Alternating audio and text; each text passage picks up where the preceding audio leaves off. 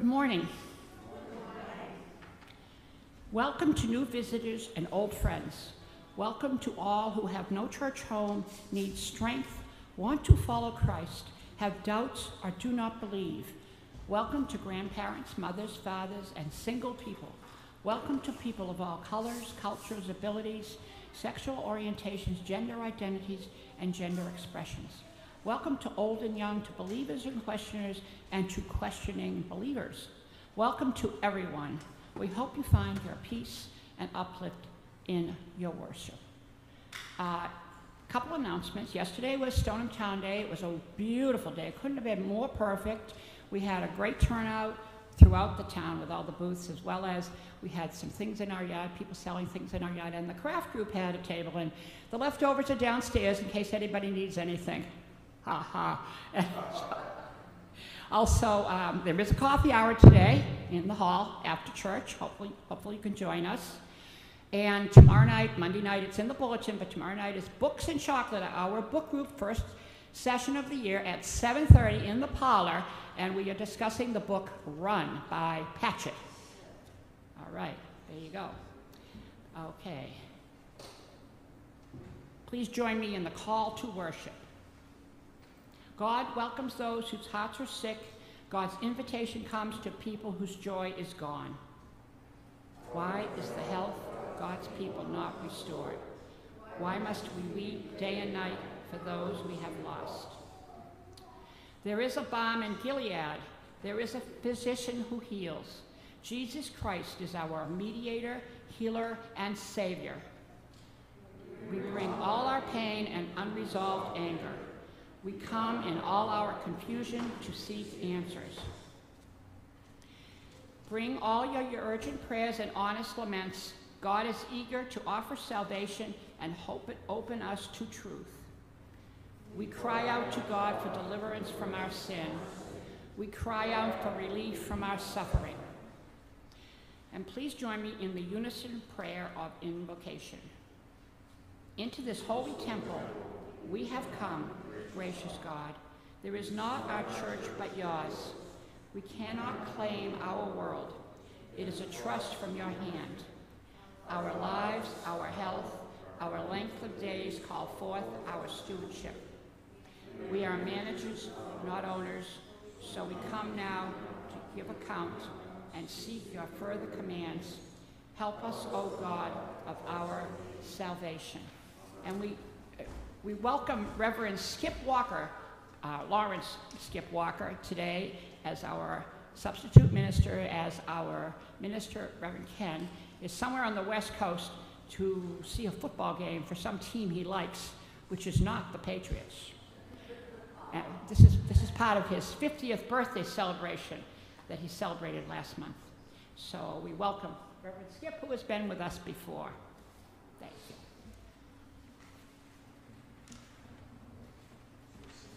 I invite you to stand as you're able and join together in our opening hymn, number 305.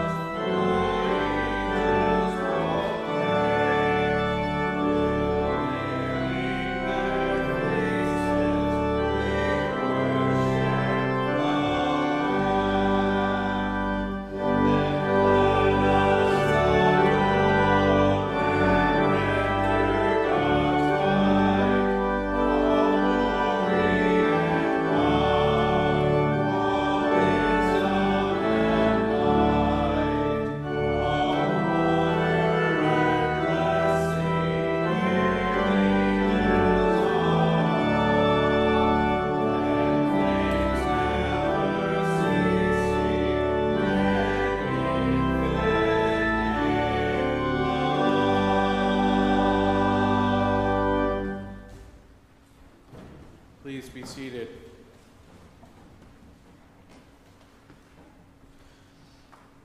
The harvest is past, the summer is ended, and we are not saved. We resist the great physician, for healing requires change, and we have not been ready to give up our favorite vices.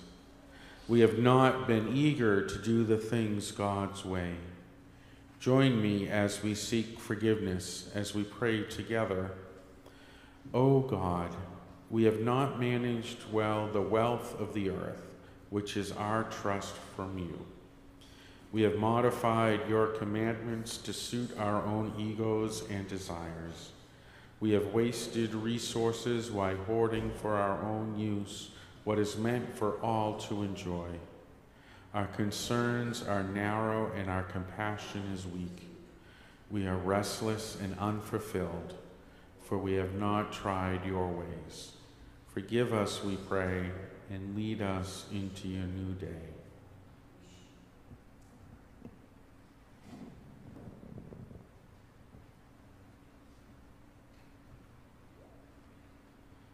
Let the confusion and despair of your former ways melt into trust in a God who cares. Let go of dishonesty and false riches to accept the wealth in knowing God and responding in faithfulness. God's gift to us is a quiet and peaceful life, full of dignity and godliness. Such acceptance and inner peace enliven our active care for others and our shining in the joys of service.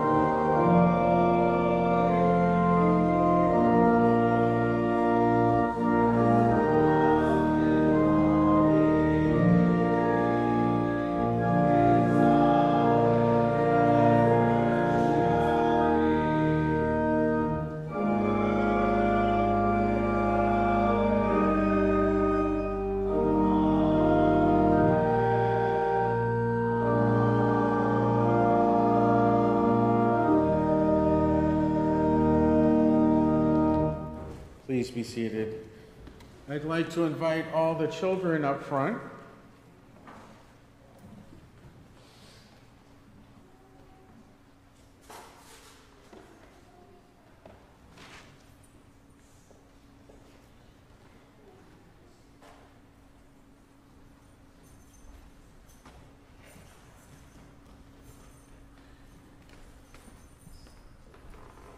So, good morning. How is everyone? Good. I want talk to you today about struggles. Does everyone know what struggles are? What?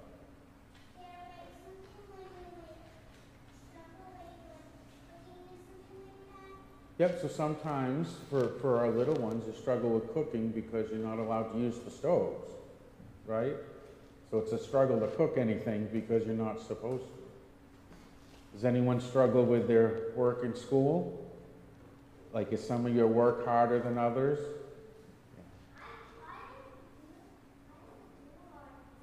You don't do hard things? Do you do some hard things to, to challenge yourself?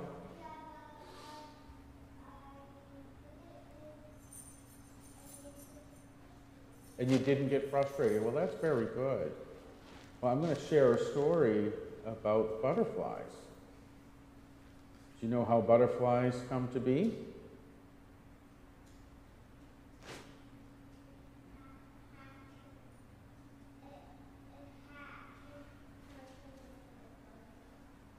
What does?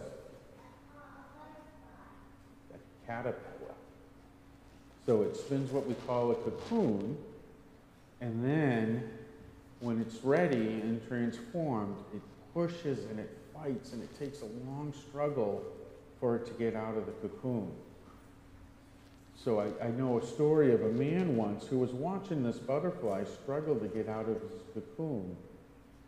And he was watching it for a couple of days, and it just seemed to be so hard for him. So finally, the man got a little pair of scissors and cut open the cocoon so the butterfly could come out nice and easy. And do you know what happened? The butterfly couldn't fly. No, because he, didn't have that struggle. So when a butterfly comes out of the cocoon, it pushes all of the fat that the caterpillar has and pushes it out and into the wings and makes the wings nice and strong. So without that struggle, the butterfly hadn't been able to become what it was meant to be. So sometimes we have a lot of things in our lives that we're struggling with. I know a certain little girl who struggles with going to bed on time.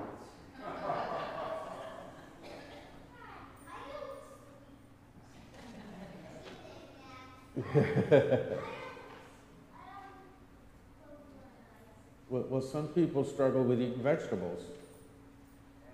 I know I do.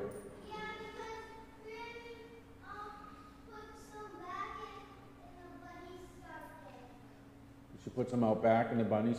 So I was talking about eating, but sometimes there is a struggle to grow vegetables because of animals like the bunnies. But it helps us to become big and strong. So it, it's really hard to see when we're struggling. You know, some of us want to help those who are struggling. So, like if you're doing something in school and you know the answer, sometimes you want to help that person by giving them the answer. But sometimes trying to let them figure out the answer themselves is really helping the most. So, why don't we take a little prayer? Dear good and gracious God, we thank you for the struggles in our lives, although we might not always thank you when we're struggling, but afterwards. We ask that you help us to use all of our struggles to make us stronger and healthier and better people for you. Amen. I believe there's Sunday school today. Sunday school today, so I hope you all have a good day and we'll see you out.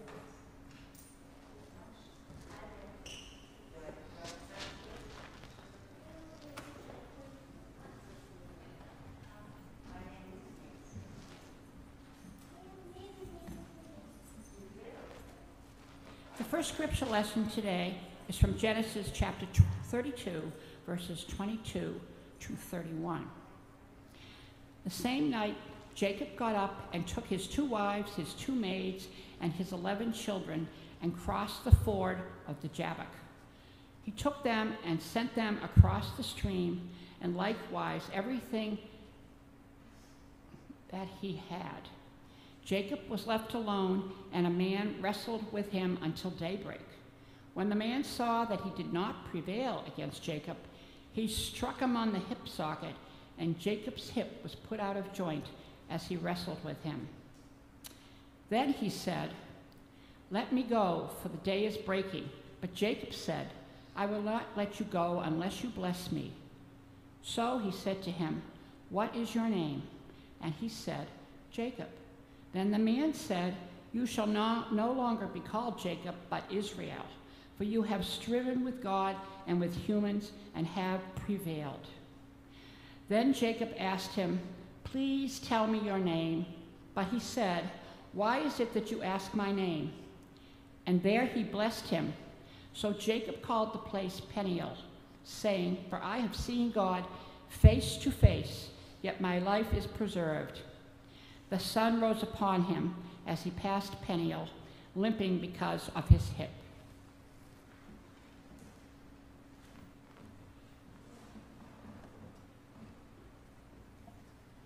Our gospel lesson today comes from the gospel according to Mar- Matthew, verses 14, uh, chapter 14, verses 13 through 21.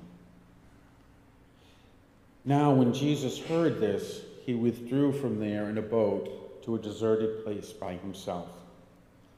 But when the crowds heard it, they followed him on foot from the towns where he went ashore. He saw a great crowd and had compassion for them and cured their sick. When it was evening, the disciples came to him and said, This is a deserted place, and the hour is now late. Send the crowds away so they may go to their villages and buy food for themselves. Jesus said to them, They need not go away. You give them something to eat. They replied, We have nothing here but five loaves and two fish. And he said, Bring them here to me. Then he ordered the crowds to sit down on the grass. Taking the five loaves and the two fish, he looked up to heaven and blessed and broke the loaves and gave them to the disciples, and the disciples gave them to the crowds. And all ate and were filled, and they took up what was left over of the broken pieces, twelve baskets full. And those who ate were about 5,000 men, besides the women and children. These words are breathed into us by the Holy Spirit.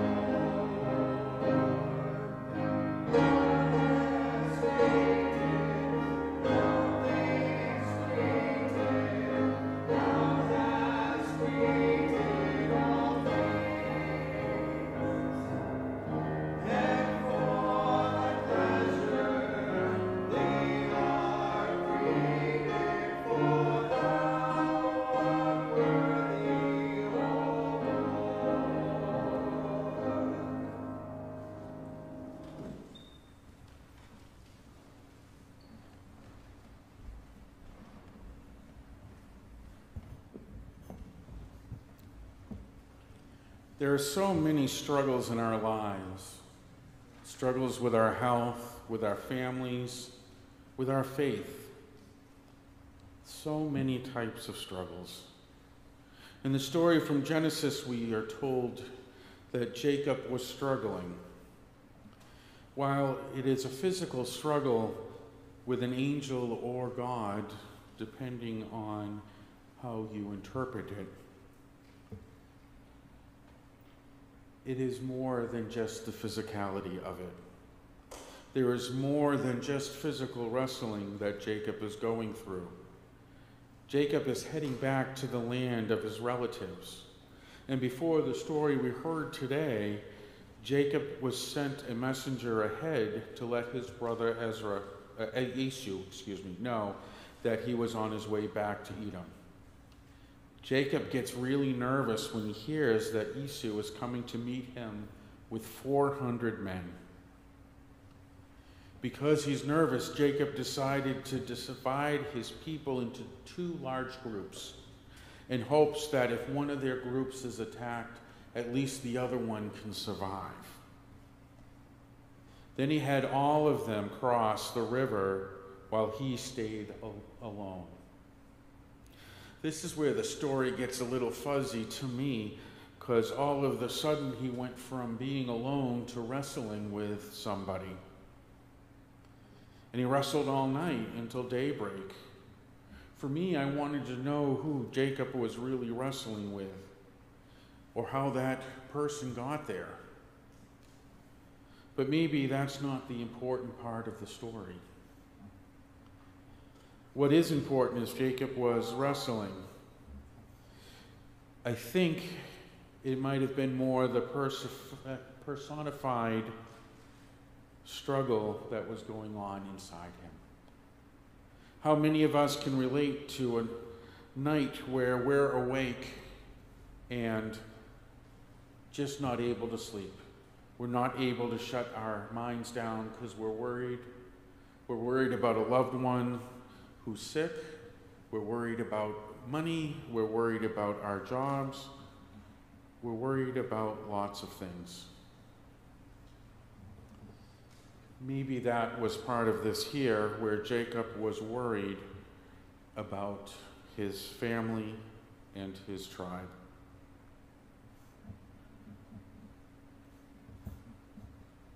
Technology is good unless you have fat fingers, and then you got to load it all up again. While we, in our struggles, don't wrestle with a physical angel or God physically, we do wrestle with God at times. Whenever we're trying to figure out the solution to a problem that we are facing, we wrestle between what is easy and what is right. And we've seen that this week when somebody in Florida put a bunch of people on a plane because it was easy to push the problem to somewhere else. And we were able to see where people came together and did what was right very quickly. All of us are struggling with God or maybe more precisely, struggling with ourselves, with our choices, with what we think is right and what we thought was right in our youth. It's very easy for us to say we want to be people of God and go where God is calling us, but sometimes it's hard to act. I think of the issue as heterosexualism. For many people of faith, this has been a hard road to accept. So, for those who don't know what heterosexism is, it's a system of attitudes, biases, and discrimination in favor of opposite sex relationships. Many of us grew up, I know myself included, with religious leaders telling us that being in a hetero relationship was the only thing pleasing to God. It still comes across to a gay person that sometimes you're a little bit less because of who you are. And it's very hard for a lot of us to understand if we haven't dealt with these problems ourselves. So let's try to think of it a little bit easier way. Because it could be because of your orientation your political beliefs. But going away from the hot topic buttons, what if it was people trying to let us know that people of blue eyes are not as good in God's sight? So if God doesn't love the person who has blue eyes, does God love any of us? So, using the example of blue eyes, I've heard for many other big things. It isn't that God doesn't love the person with blue eyes because God does. It's just the blue eyes that God doesn't love. Sounds a little silly when we think of it that way, but so many people take that so seriously and hurt others. In fact, they're othering people, and it can be people of sexual orientation versus straight. It could be people that are Democrat versus Republican. It can be people who are disabled or young or old. It could be people that are homeless. It could be people who didn't have the choice to be as educated as others. But so many of these struggles come because we other people. That doesn't happen to me. That doesn't happen to people of my faith. That's other people. Of course, this doesn't just happen within any one of these groups rich or poor, black or white, Americans or immigrants. And the list can go on and on and on. You know, people that understand that death is a part of life and people that run away from it. It's very easy to put others in a category different than yours. In a way, I think that's what Jacob was struggling with. He was worried about his brother, someone who he hadn't been contacted in, with in a long time. Jacob knew God was with him, but what if Esau didn't accept that? What if Esau thought Jacob was unworthy of God because Jacob didn't stay in Edom? What if Esau thought that this was so unforgivable, he was coming to kill them all? As with Jacob and his hip, struggling can leave scars on us, but can also give us blessings. Jacob was rewarded for struggling with God and humans and endured a limp for the rest of his life. He had a new understanding of what God can do, just like when we wrestle with many of the issues that I mentioned, those issues that are facing us today. No matter which side of the issue you stand on, we have the risk of people coming at us. We have the risk of trying to wrestle with what we think is right, trying to help others understand why we think is right. And it can leave scars on ourselves, especially when we're trying to argue over what we think would be pleasing to God. The next reading today, we are told the familiar story of Jesus feeding the 5,000. And while I've heard this story hundreds of times, it was only recently I started to see the various struggles within this story.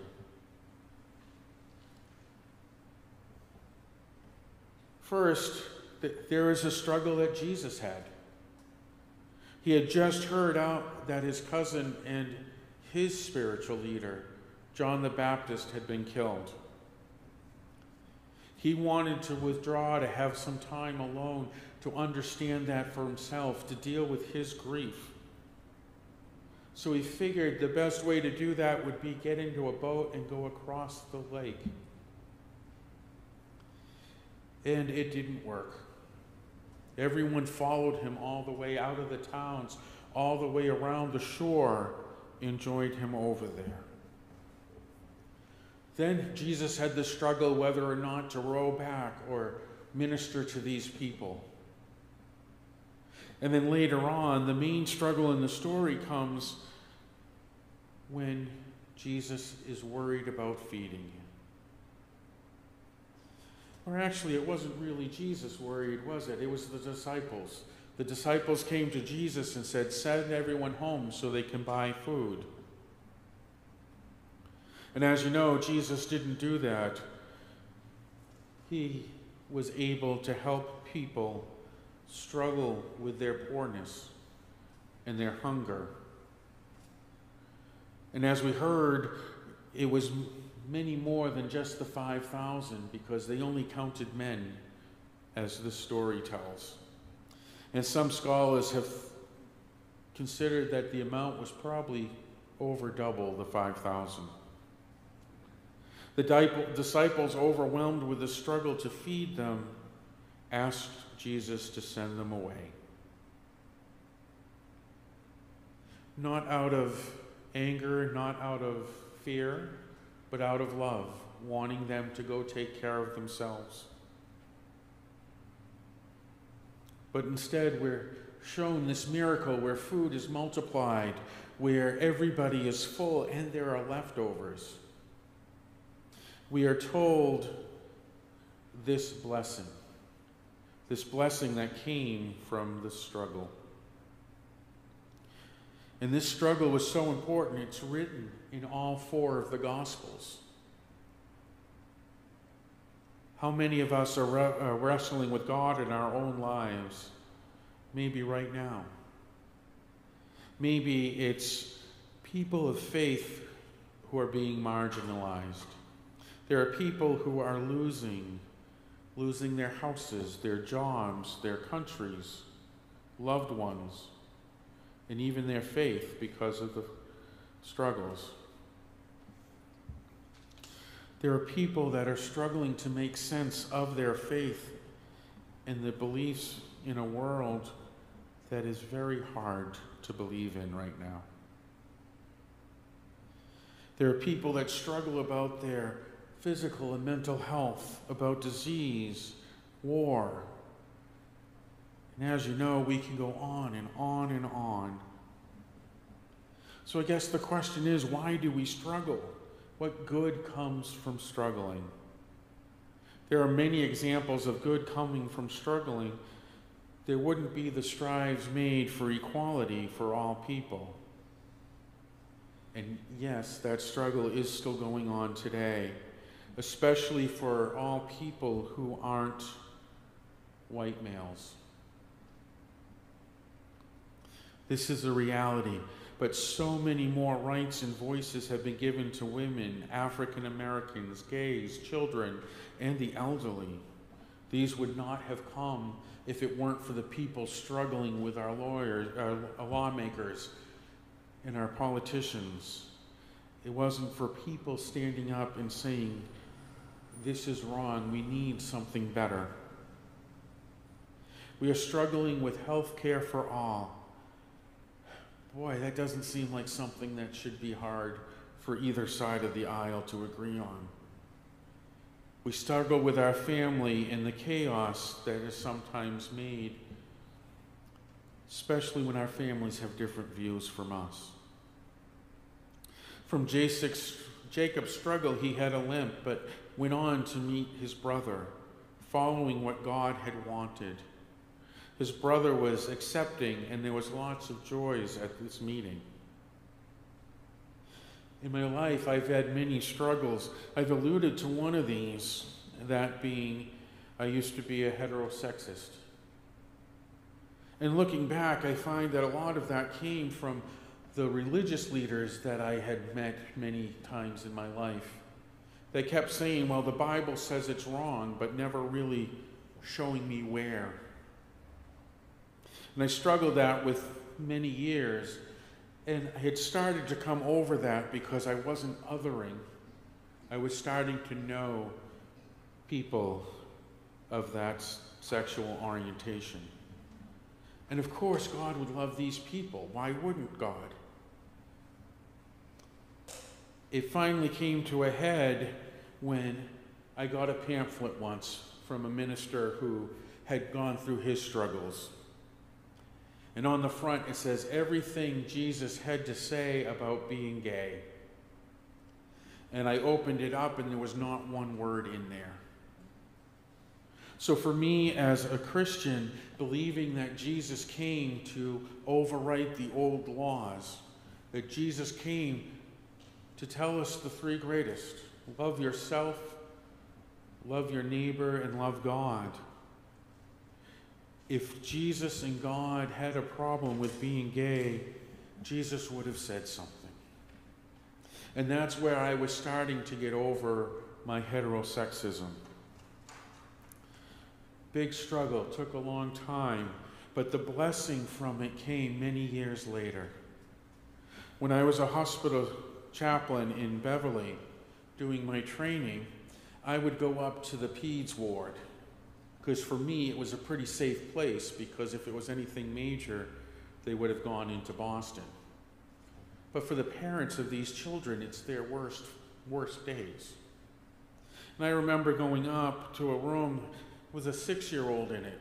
And there were two gentlemen in there kind of talking with her. And I went in, I said, Hi, I'm the chaplain. I wanted to check in and see how you were doing. And instantly, it was like all the air was sucked out of the room. And one of the gentlemen just went like this, leaned against the wall, and glared at me. So, feeling like I stepped into something, I was trying to figure out what was going on. And I asked the girl, I said, Well, how are you doing? And she said, Great, my two dads are taking such good care of me. And I said, That's wonderful. Whole time he was like that. I said, Well, what are your dads like? Well, he gives me extra dessert and he makes sure I go to bed on time.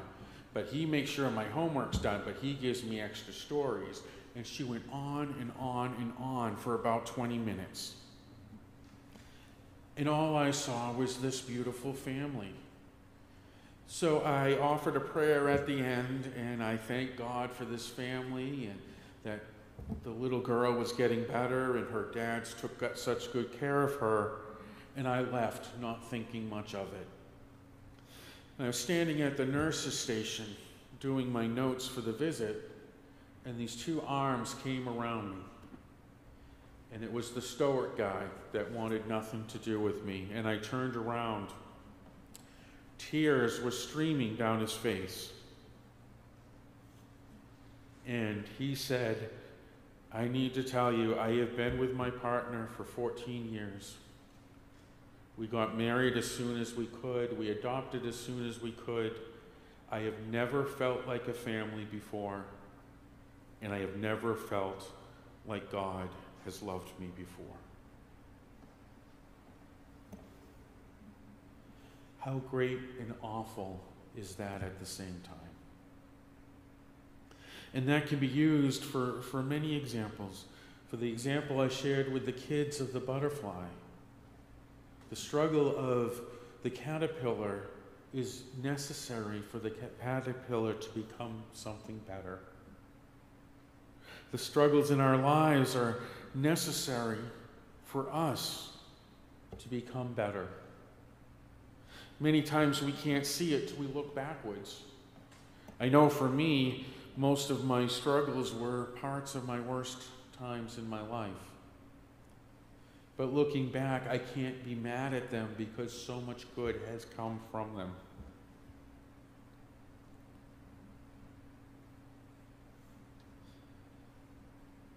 Don't get me wrong, there, there are plenty of people who feel they have to suffer as penance, to make amends for some other reason. And suffering and struggling is not good for its own sake. But it can be a stepping stone to making us feel better as people of God. There's a prayer that I used a lot when I worked on the dual diagnostic wards. And these awards, that, if you don't know it, for people who have psychiatric issues and are self medicating with drugs or alcohol. And we would use this prayer a lot at the end of our sessions. I asked for strength, and God gave me difficulties to make me strong. I asked for wisdom, and God gave me problems to solve. I asked for prosperity, and God gave me brain and brawn to work. I asked for courage, and God gave me danger to overcome. I asked for love, and God gave me troubled people to help. I asked for favors, and God gave me opportunities.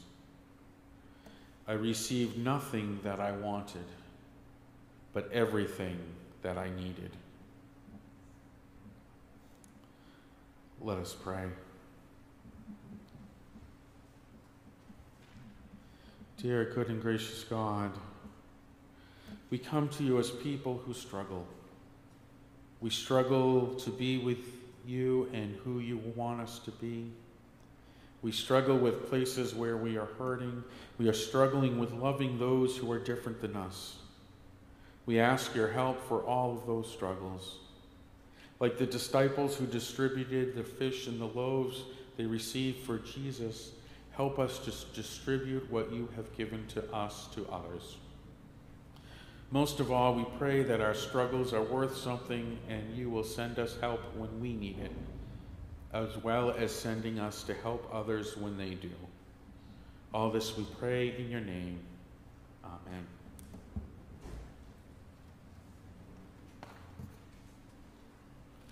I invite you to stand as you're able and join with our next hymn, Born of God, Eternal Savior, number 542.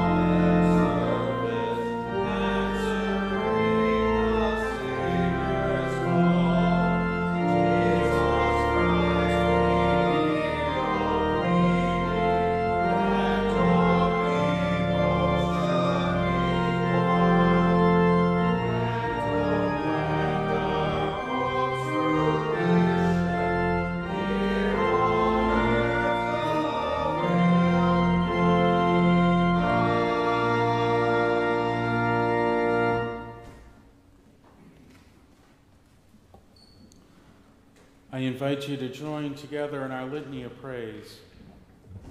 Praise God. Praise, O servants of God. Praise God's name.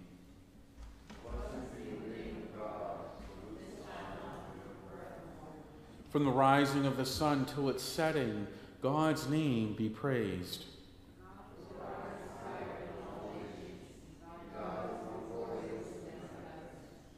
Who is like our God, who rules over all things, who is far above the heavens and the earth?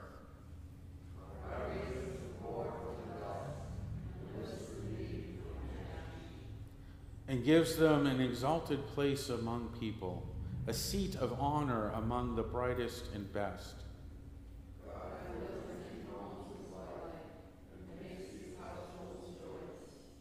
Praise God.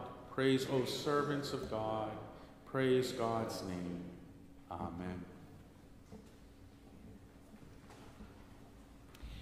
It is now time for the sharing of our joys and concerns. Does anyone, is there, is there anyone who would like to share?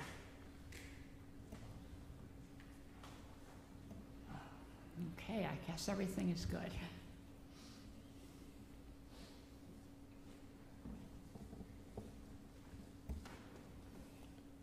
Well, let us be in the spirit of prayer.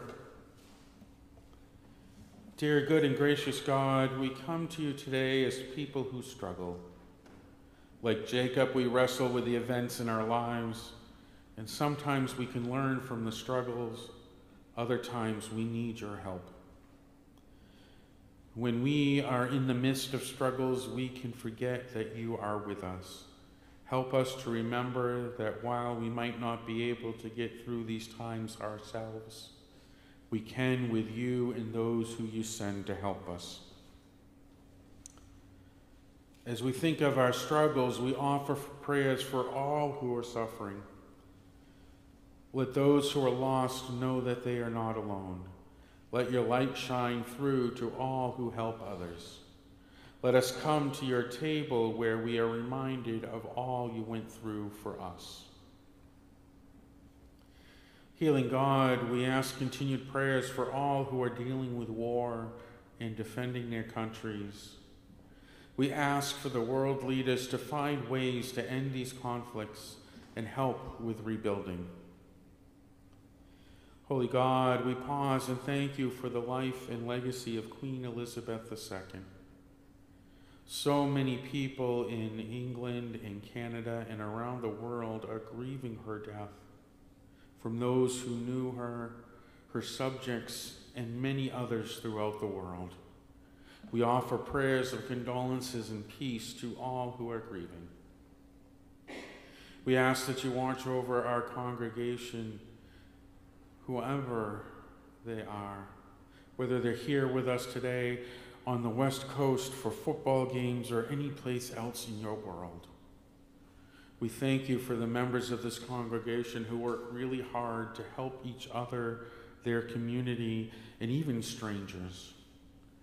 Please continue to give strength to help them make a difference in your world. Holy God, we come to you today with concerns about families and friends who are in sick and need of healing. Wonderful God, we ask that you watch over all who are in uniform wherever they are in the world, especially those in harm's way. Please help all those workers who need the love and compassion in their lives to help others who need love and compassion. Wonderful God, we also come to you with thanksgiving over the joys you have brought us. We thank you for those who love us, for the animals, and today we lift up the butterfly as a symbol of grace that comes from struggle. We thank you for your earth and your sky, for the seasons, for the whole world that you have given us. Help us make it a healthier place for all who call it home.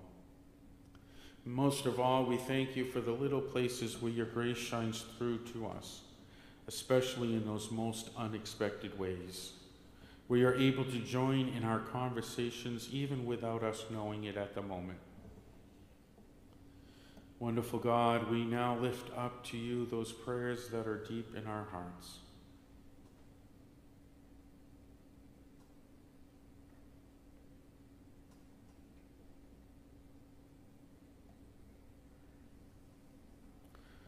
Holy God, the great I am, hear all of these prayers, both those said out loud and those said deep inside us. We ask your guidance in our daily lives. We thank you for always being with us, especially when we are having a hard time knowing you are. We thank you for leading us and helping us to discern where you want us to go. We thank you for meeting us where we are. We are always stronger when we let you be with us. Please bless this church, this congregation, and all whom they love as we join together in the prayer that Jesus taught us. Our Father, who art in heaven, hallowed be thy name. Thy kingdom come, thy will be done, on earth as it is in heaven. Give us this day our daily bread, and forgive us our trespasses, as we forgive those who trespass against us. And lead us not into temptation, but deliver us from evil. For thine is the kingdom.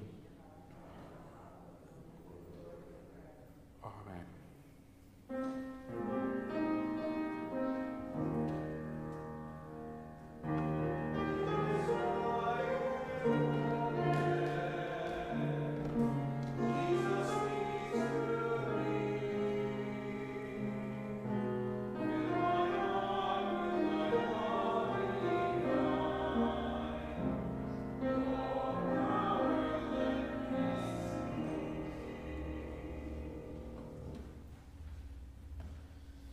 As managers of God, uh, managers for God of the world's resources, we share the hurt of those who are poor, sick, and in mourning.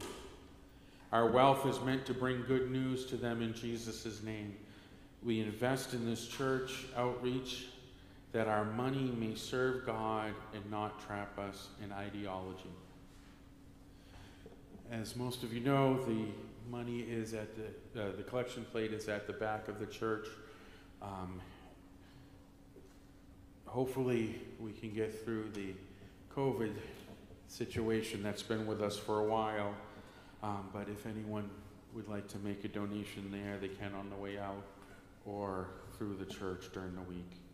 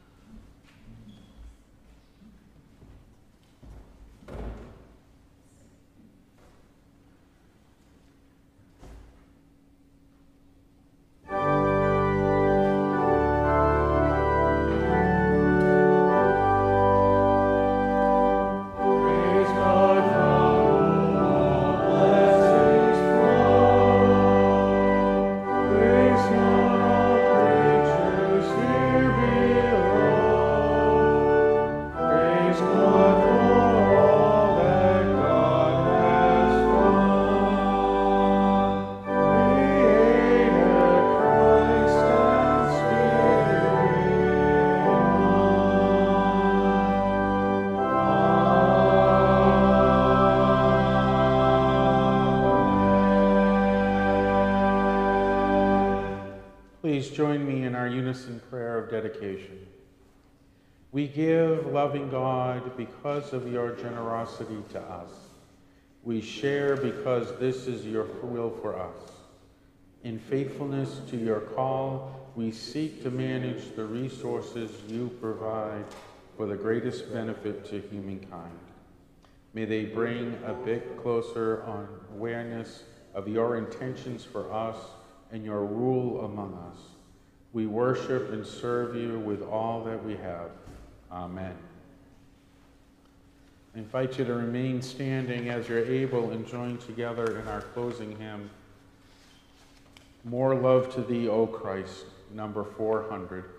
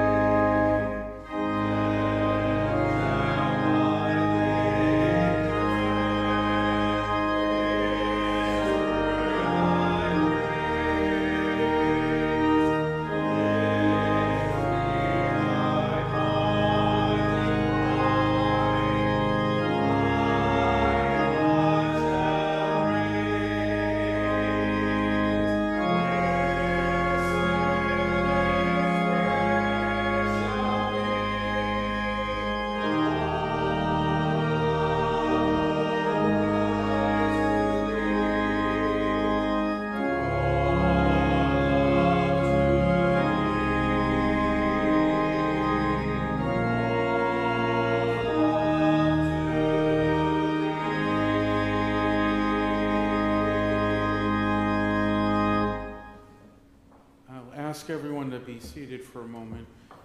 Um, I get asked questions many times, um, especially around September 11th, of where was God. So whenever I'm preaching, I like to bring this poem out. Um, it, it's my way of remembering. You say you will never forget you were there when you heard the news on September 11th, 2001. Neither will I. I was on the 110th floor in a smoke filled room with a man who called his wife to say goodbye. I held his fingers steady as he dialed. I gave him the peace to say, Honey, I am not going to make it, but it's okay. I'm ready to go. I was with his wife when he called as she fed breakfast to their children. I held her up as she tried to understand his words and as she realized he wasn't coming home that night. I was in the stairwell of the 23rd floor when a woman called out to me for help. I've been knocking on the door of your heart for 50 years, I said. Of course, I will show you the way home. Only believe in me now. I was at the base of the building when the priest ministered to the injured and devastated souls. I took him home to tend to the flock in heaven.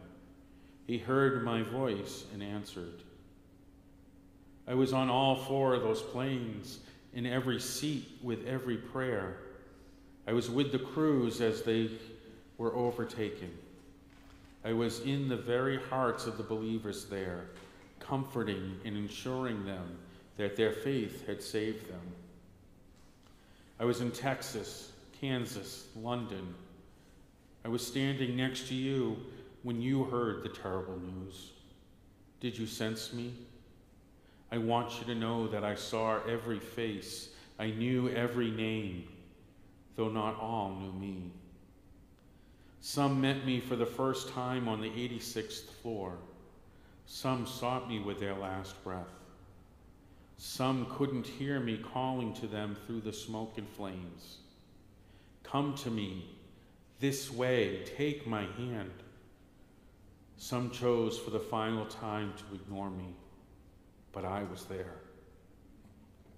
You were not in the building that day, and you may not know why, but I do.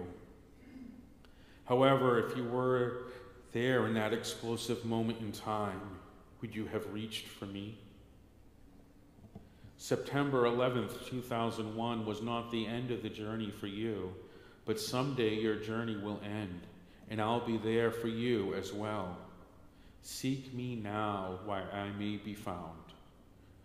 Then at any moment, you know you are ready to go.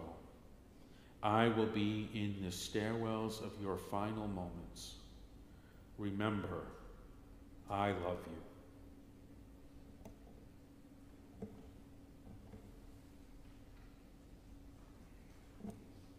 Thank you. And as we prepare to leave this place, may the love of God, our Creator, fill you up. May the compassion of Christ, our Creator, reflect in you to all whom you meet. And may the wisdom of the Holy Spirit guide you now and forevermore. Amen.